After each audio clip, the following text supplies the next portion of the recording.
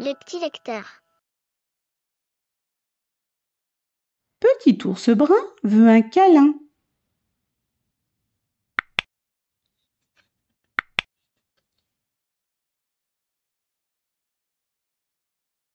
Ce soir, quand Papa ours rentre à la maison, Petit ours brun crie Papa, papa, c'est papa. Plus tard, quand il entend la clé dans la porte, Petit ours brun dit Maman, un bisou, un bisou. Petit ours brun et sa maman s'embrassent. Maman ours dit Hum, ça c'est la meilleure chose au monde. Maman ours a envie aussi de retrouver papa ours. Mais petit ours brun n'aime pas ça. Petit ours brun ne lâche pas sa maman. Il dit Non, c'est ma maman à moi.